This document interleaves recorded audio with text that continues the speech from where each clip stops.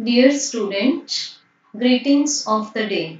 After covering electromagnetic induction chapter theory wise, very systematic lectures, then numericals from state textbook and then numericals from NCRT, today we are going to do previous year questions of NEET exam that is pre-medical exam so in the first question which appeared in 2017, a long solenoid of diameter 0.1 meter. तो जब भी आप MCQ solve करते हैं आपको जो भी given data है वो statement wise encircle कर करके cover करते जाना है because in MCQ exam there is no method like to write to given then to find because आपको वहाँ टाइम सेव करना होता है। So I will suggest you to make circle on the given data तो सबसे पहले आपके पास शेप है लॉन्ग सोलेनोइड डायमीटर आपको गिवन है। So you can find radius just dividing by two ठीक है पॉइंट में काम नहीं करेंगे। Has two into ten to the power four turns per meter तो यूनिट ओके है ये। तो इस वैल्यू को आप ले सकते हैं small N this is small R at the centre of the solenoid a coil of hundred turns so this is a coil इसको हम बोल सकते हैं capital N and radius 0.01 meter is placed with its axis coinciding with the solenoid axis. तो इस रेडियस को हम इंडिकेट कर सकते हैं आर डैश से और आर सी से because this is the radius of the coil The current in the solenoid reduces at a constant rate of 0 ampere from 4 ampere means this was the initial current and this is final current in 0.05 seconds. So this will be the time taken to change the current. If the resistance of the coil is 10 pi square ohm, means this is RC इसको आप indicate करेंगे given data R C subscript for coil so we have to find the total charge flowing through the coil during this time ठीक है, अब basic क्या है? सबसे पहले तो आप डायग्राम बना लो. This is a long solenoid As we know, its radius of cross section is given as 0.1 meter और सेंटर पर रखी हुई हम लोगों ने एक कोयल जिसमें 100 टर्न्स हैं बट इसकी रेडियस वन टेंथ है सोलेनोइड की रेडियस के। तो वो बिल्कुल छोटी सी कोयल है ऐसी स्मॉल कोयल है। एटलीस्ट आपके इमेजिनेशन में पूरा डेटा आना चाहिए तब आप न्यूमेरिकल स्किलफुली कर पाएँगे। So, the radius of this coil is 0.01 meter. अब हम लोग इस सोलेनोइड में एक पर्टिकुलर करंट को स्टार्ट करते हैं और कुछ देर बाद उस करंट को हम ज़ीरो बना देते हैं So, that current was 4 ampere. It reduces to 0 ampere in a time of 0.05 second. अब, इस सोलेनोइड से लिंक्ड जो मैग्नेटिक फ्लक्स होगा वो कॉइल में से भी पास हो रहा है तो ऑल ऑफ़ ए सडन जब हमने करंट को ज़ीरो कर दिया because this is rapid change तो कॉइल से पास होने वाला फ्लक्स भी ज़ीरो हो गया। सो so, कॉइल में प्रोड्यूस हो जाएगा induced E M F but we have to find the total charge flowing through the coil during this time so पहले कॉइल में ऑब्वियसली मैक्सिमम चार्ज था और जैसे ही हमने करंट को ज़ीरो बना दिया कॉइल में से पास होने वाला चार्ज भी ज़ीरो हो जाएगा। So we know the expression for the induced EMF is minus N D phi by D T now we can apply Ohm's law so for epsilon we can put I R is minus N D phi by D T now for I we can put q is equal to I T होता है तो i के place पर आ जाएगा आपके पास del q divided by D T because to resemble this therefore I am writing D T R is equal to minus N into D phi divided by D T ठीक है, अब check करेंगे, आपको find करना है del Q will be getting del Q equals to minus N into D phi by D T into D T divided by R now we can put the values अब देखो, आपके पास क्या क्या वैल्यूज़ हैं जिनको आप इजीली पुट कर सकते हैं? सो चेक द डेटा और एक बात और, ये जो नेगेटिव साइन है it opposes the change of a flux आप चेक करो फ्लक्स कैसे चेंज हुआ due to the change of the current तो ये जो भी नेगेटिव चार्ज है that is by Lenz's law it will oppose the change of flux means it is showing that the coil also obeying the Lenz's law or Faraday's third law ठीक है अब आपको find करना है ये वाला data तो इसको आप ले सकते हैं for the solenoid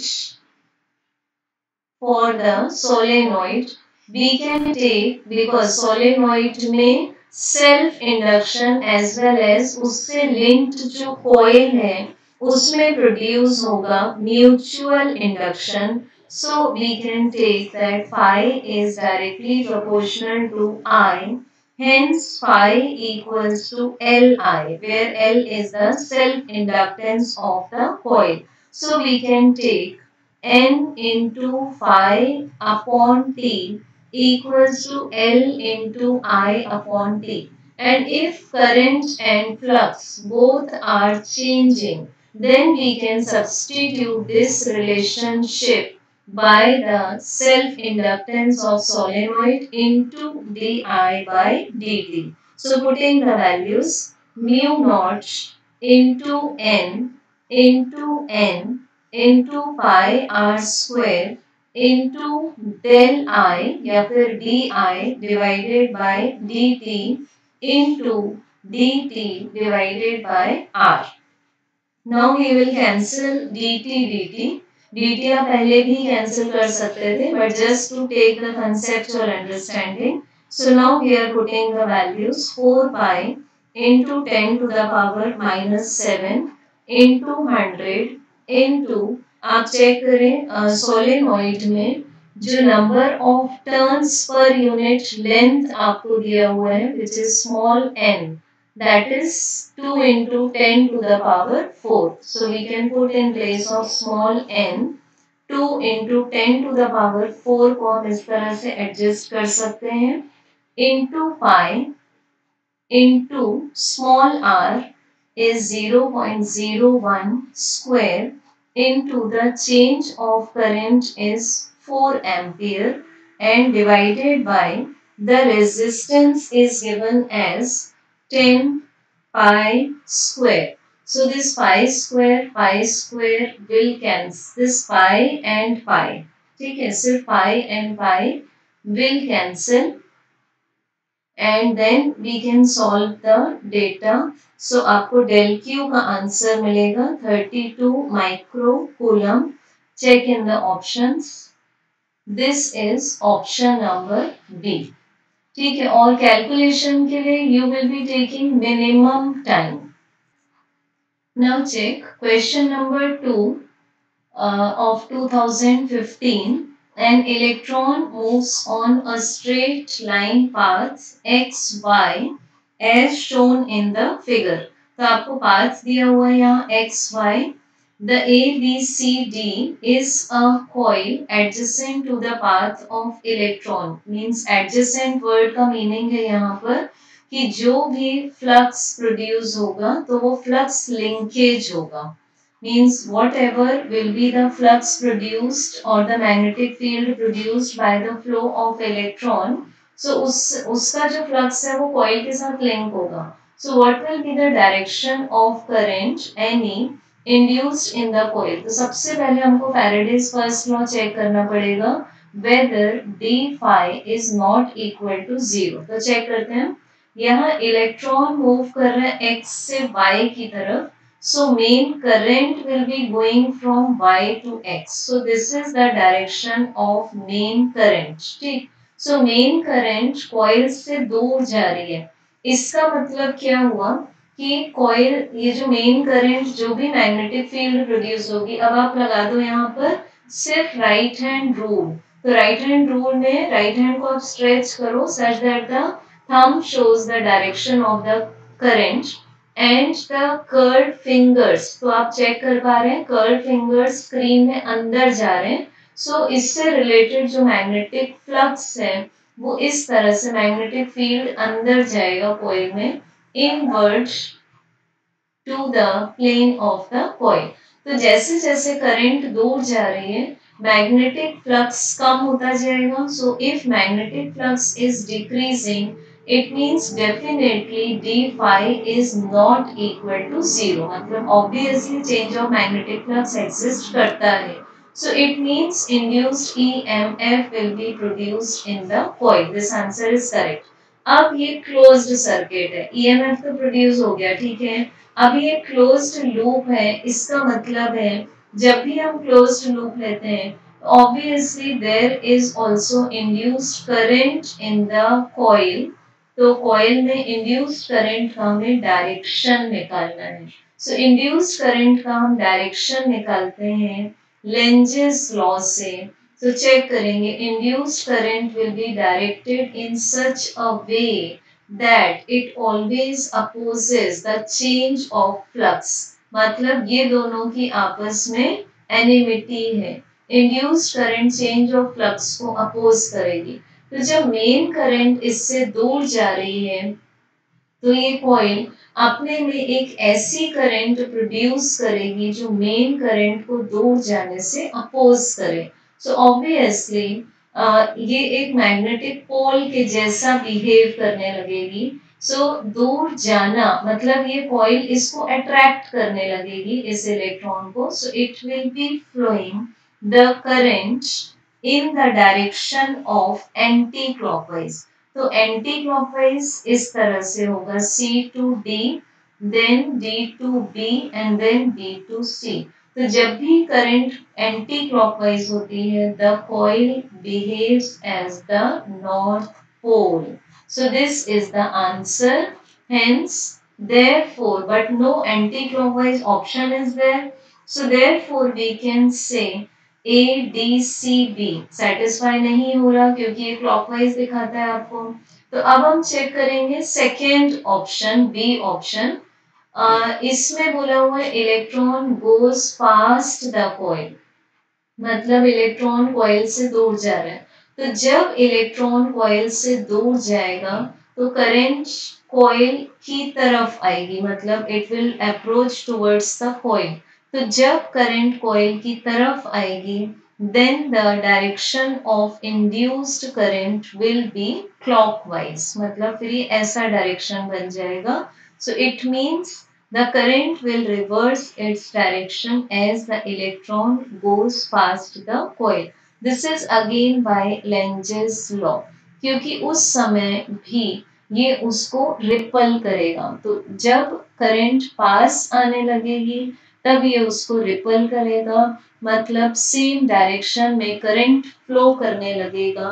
And then the direction of current will be the clockwise देखो, आप एक कंसेप्ट याद रखो कि if two conductors these are the two conductors if they have same direction of current then due to magnetic effect of electric current there will be attractive force between them तो ये concept आप यहाँ पर लगा सकते हैं in other way to find the direction of the current therefore option number b is correct now check next question of 2014 a thin semicircular conducting ring which is named as pqr of radius r small r is the radius indicated is falling with its plane vertical in a horizontal magnetic field V. जैसे ही आप following word देखेंगे तो आप एक guess कर लेते हैं कि this may be the example of the motional E M F developed between two ends of the conductor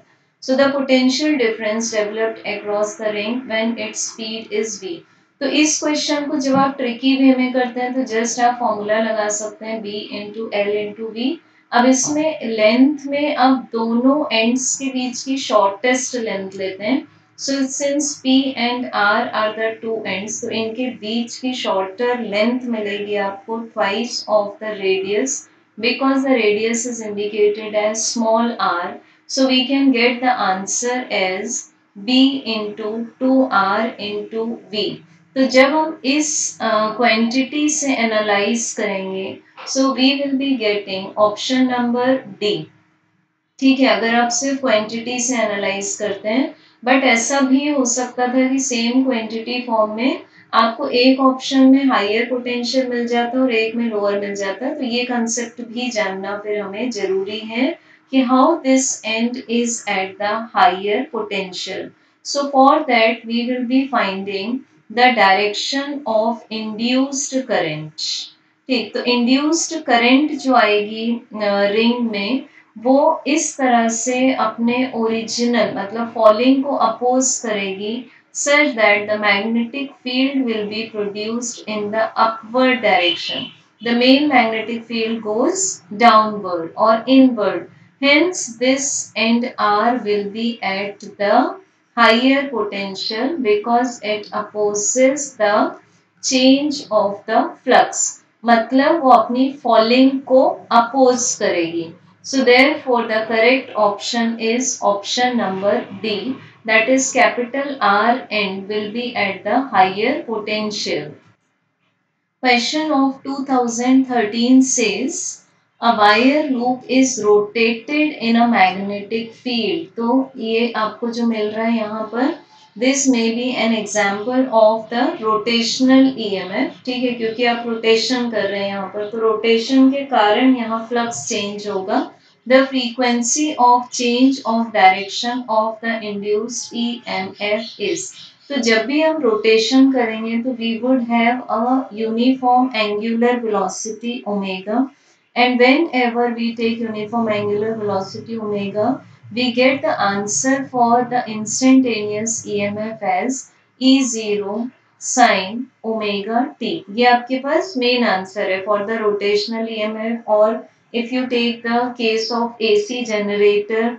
So if we draw the graph for this, this will be sinusoidal graph obviously. So if we take example of the graph between T and E, this will be sinusoidal like this between the angles 0 and this is 2 pi, one full revolution. So check this. We have to find the frequency of change of direction of the induced EMF. तो यहाँ पर एक बार ये check करेंगे आप एक बार induced EMF बढ़ रहा है so this is going plus and at this place again it changes the direction So it we can see that its direction is changing once. अगर हम ये half cycle देखते हैं तो once in half cycle, और फिर ये भी हम देखते हैं, यहाँ पर फिर से डायरेक्शन चेंज हो रहा है so it will be twice per revolution एक रिवॉल्यूशन में इंड्यूस्ड ईएमएफ का डायरेक्शन दो बार चेंज हो जाएगा so option number A now check next question five बहुत ही सिंपल क्वेश्चन है ये. सो so, क्वेश्चन में ध्यान से देखेंगे बिकॉज़ कुछ बच्चे कंफ्यूज हो जाते हैं कि हमें इंड्यूस्ड ई एम एफ़ निकालना है. तो पहले क्वेश्चन में डेटा देख लेंगे what is unknown a current of 2.5 ampere means this is I flows through a coil of inductance 5 Henry. This is L. The magnetic flux linked with the coil is.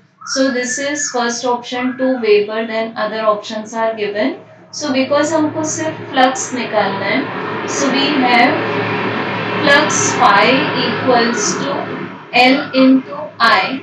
So putting the values phi equal to 5 into 2.5 and the unit will be Weber. So the answer will be phi equal to 12.5 Weber. So, it is option number C.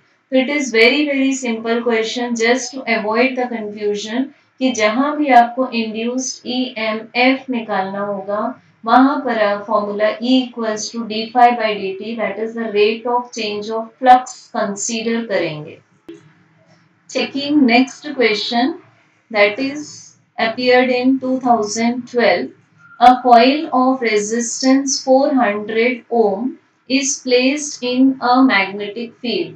तो पहले ही आपको ये एक मिल रहा है कि resistance R की value 400 ohm है। If the magnetic flux phi obviously पहले ही ये वेबर में दिया है तो आप कन्वर्ट नहीं करेंगे।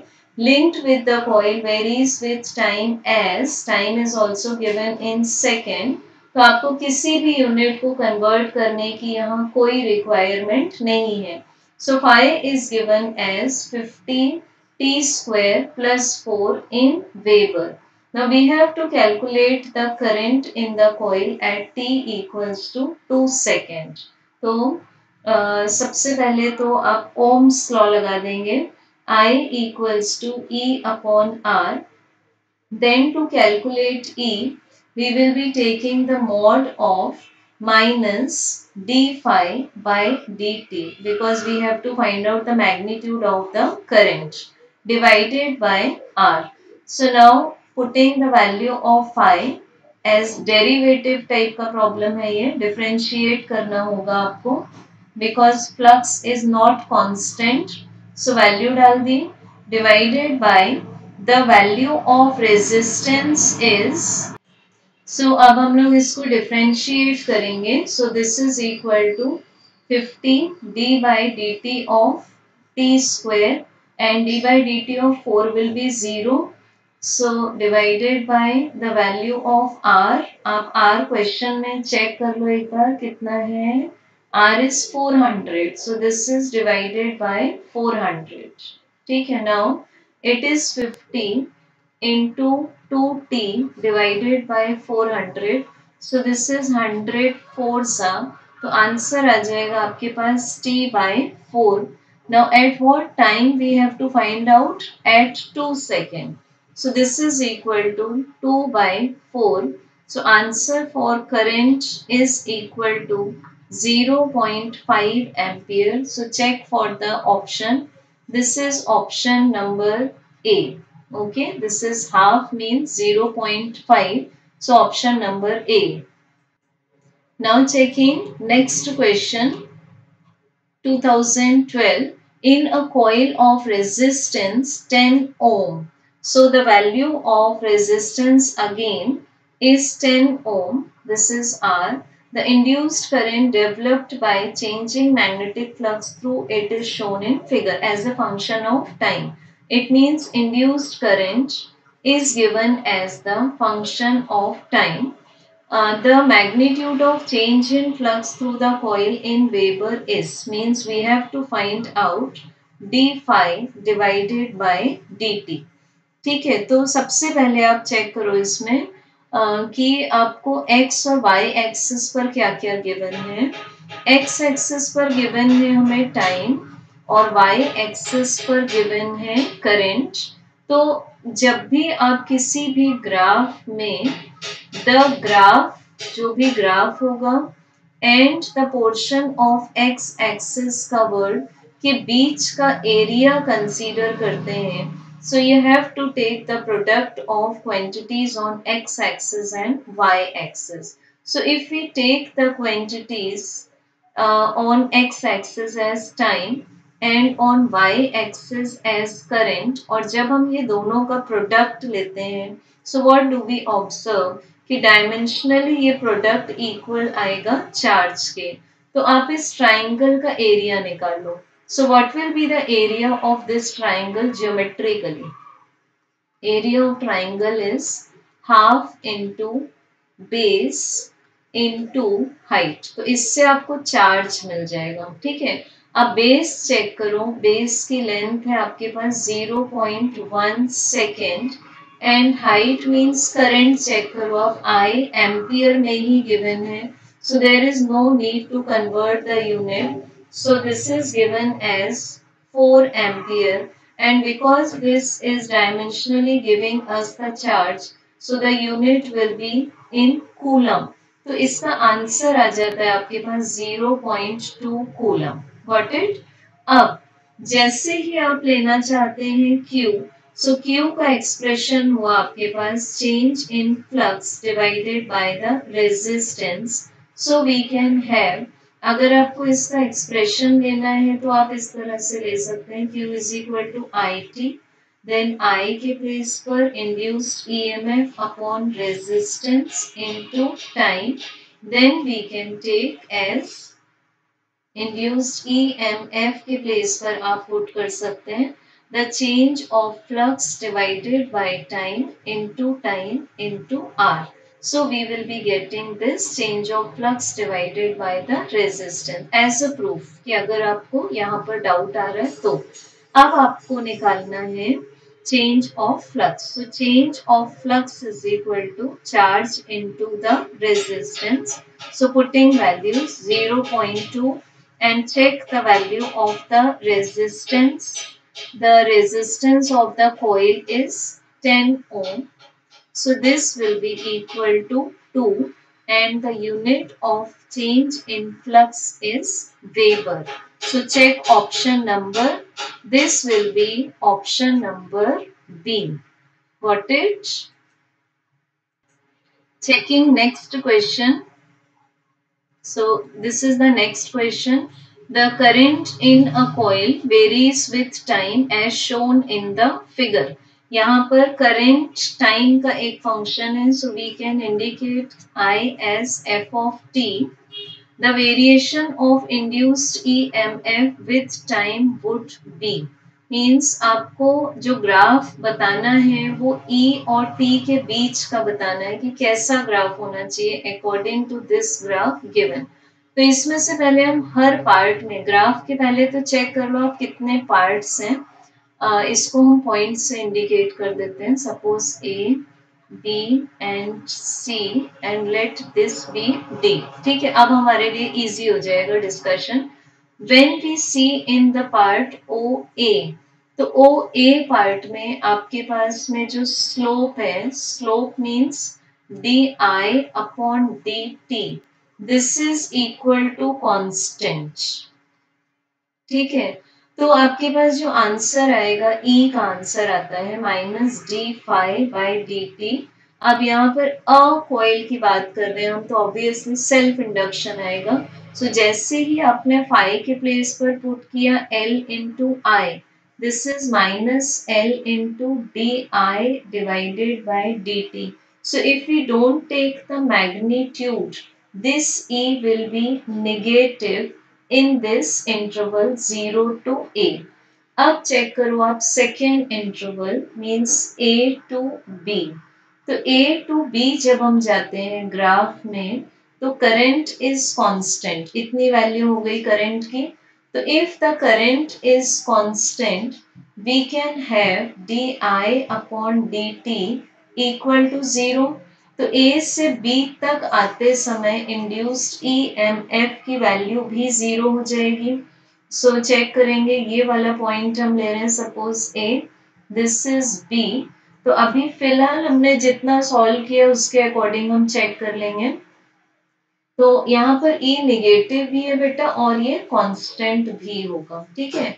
तो अभी तक के A O to A and A to B के पार्ट से लग रहा है कि this should be the graph number A तो बाकी ग्राफ्स भी देख लो क्योंकि जब भी आप एमसीक्यू कर रहे होते हैं तो आपको इफ़ नॉट नेसेसरी तो चारों पार्ट्स करके नहीं देखने तो चेक कर लेंगे नो ऑप्शन बी सी और D matches with the situation of the figure therefore, correct answer in this case will be option number a. तो इस तरह से आप एम के लिए सिर्फ़ टाइम सेविंग टेक्निक्स लगाएँगे तो you will be safe check next question that is question number nine a conducting circular loop is placed in a uniform magnetic field B की वैल्यू आपको गिवन है. With its plane perpendicular to the loop तो इसको check कर लो पहले आप इतनी सिचुएशन को. दिस इज़ द लूप ठीक? और इस पर मैग्नेटिक फ़ील्ड इस प्लेन के this is the plane of the loop magnetic field इस प्लेन से परपेंडिकुलर लगाया हुआ है। दिस इज़ बी वेक्टर और इस पर आप जो एरिया वेक्टर प्लॉट करेंगे एरिया वेक्टर भी हम नॉर्मली आउटवर्ड प्लॉट करते हैं तो this will be a vector hence, theta between a vector and b vector will be 0 degree. So, cos 0 degree will be 1 so, जो हम फ्लक्स कैलकुलेट करते हैं that will be just equal to B into A अब check करो आगे की information the radius of the loop is made to shrink at a constant rate of one millimeter per second means इस loop की radius कम होती जा रही है।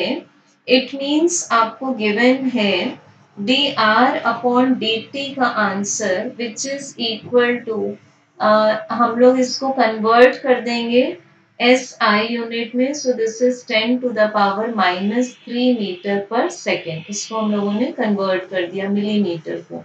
Now we have to find the induced EMF when the radius is 2 centimeter. क्योंकि उसकी radius कम हो रही है एक एक सेकेंड में वन वन मिलीमीटर से कम हो रही है तो हमको इंड्यूस्ड ईएमएफ तब निकालना है जब रेडियस की वैल्यू बचेगी टू सेंटीमीटर कम होते होते रेडियस आ जाए टू सेंटीमीटर ठीक है सो so, यहाँ because phi is equal to B A मिल गया था and in the question we can check the circular loop is mentioned आप ये नाम check करो circular loop so it means we can take for the formula of area जो B A है उसमें आप ए के प्लेस पर डाल सकते हैं पाई आर स्क्वायर ठीक है अब ये आपके पास आ गया magnetic flux this is phi is equal to magnetic flux अब इसमें चेक करो आपके पास मैग्नेटिक फ़ील्ड तो कांस्टेंट है पाई भी कांस्टेंट है रेडियस कम होती जा रही है टाइम के अकॉर्डिंग सो जो रीजन होगा for the rate of change of flux that will be connected with the change of radius with time so आपने इस इक्वेशन को दोनों साइड्स डिफ्रेंशिएट किया. So this is D phi by D T equals to constants को बाहर ले लिया. Into D by D T of R square ठीक है, अब डिफ्रेंशिएट किया हमने आर स्क्वेयर को। So the answer for derivative of R square comes as two R तो ये आया B into pi into two R तो ये आंसर आ गया आपके पास में induced E M F E का सो एंड इनटू आएगा बेटा यहाँ पर D R by D T because this function is not in terms of time अब डायमेंशनली आप rate of change of radius को ले सकते हैं speed so induced E M F is equal to B into phi into two R into B जो कि आपको question में गिवन है द चेंज ऑफ़ रेडियस के फॉर्म में कि one M M per second के फॉर्म में। So we can put this V as 1 into 10 to the power minus 3 meter per second. Change of radius. अब हम लोगों ने different values put की. So check the values in the question. B is 25. मैं upon के form में लिख रही हूँ. So to avoid the errors, 10 raised to 3 into pi के place पर pi इंटू रेडियस के प्ले रेडियस टू सेंटीमीटर है. सो दिस इज़ टू और पावर लास्ट में लिख देंगे. Then the change of radius और ये एक और टू भी है into two into ten to the power minus three so we can check the answer twenty five फोरजा is 100 into pi multiplied by ten to the power this is minus eight ठीक है, और ऐसा unit ही लेंगे हम that is volt so when we take 25 five फोर्सा hundred आपने इसको combine कर दिया तो आपको 10 की नेट पावर मिल जाएगी। 10 raise to minus eight plus two and pi so, this is 10 raised to minus 6 so, this will be equal to pi mu volt. Now check for the options. Option number B आ जाएगा बेटा इसका answer पाई mu volt ठीक है so because it matches with the option number B now check next question question number ten a rectangular, a square, a circular and an elliptical loop. आपको चार shapes given है। सबसे पहले है rectangle then square circular and then elliptical इस, ये सभी X Y plane में रखे हुए हैं। आप एज्यूम कर सकते हैं इसको कि आपके रूम के फ्लोर पर रखे हैं ये। Are moving out of a uniform magnetic field with a constant velocity सभी कांस्टेंट स्पीड से मैग्नेटिक फ़ील्ड से बाहर जा रहे हैं। मतलब उनसे लिंक्ड जो फ्लक्स है वो कम होता जाएगा। और जो मैग्नेटिक फ़ील्ड है, वो डायरेक्टेड है negative X Z axis direction में means into the plane the induced EMF during the passage of these loops out of the field region will not remain constant for तो आपको ये चारों shapes में से बताना है कि कौन से शेप के साथ जो इंड्यूस्ड ईएमएफ लिंक्ड है वो कांस्टेंट नहीं रहेगा विल नॉट रिमेन कांस्टेंट ठीक है? तो हम लोग सबसे पहले चारों शेप्स को एक बार फिर से देख लेंगे कौन से शेप्स थे? फ़र्स्ट uh, था आपके पास rectangle second was the square third was the circular and fourth was the ellipse अब अगर इसमें मैं मैग्नेटिक फ़ील्ड बनाओ इस तरह से ठीक है? ऐसे बनाया हम लोगों ने magnetic field because it is acting along negative Z direction so जैसे जैसे रेक्टेंगल या स्क्वायर को आप कंफर्म करते हैं, ये हम लोग एनसीईआरटी में भी ऑलरेडी डिस्कस कर चुके हैं थियोरी पढ़ते टाइम तो उस समय रेक्टेंगल या स्क्वायर इस तरह से यूनिफॉर्मिटी से अपना एरिया कम करेंगे. बट जो सर्कल या फिर इलिप्स में एरिया कम होगा वो इस तरह से स्ट्राइप्स फॉर्म में होगा ऐसे। कब इस तरह से? कभी बड़ी स्ट्राइप मिलेगी आपको। अगर आप सेम थिकनेस लेते हैं स्टिल जो स्ट्राइप्स का साइज़ होगा आपके पास में, वो साइज़ चेंज रहेगा according to the symmetry so therefore it will not remain constant for the circular and the elliptical loops. So it will be option number A. So I hope you found the lecture and explanation very easy. So practice more questions and in case of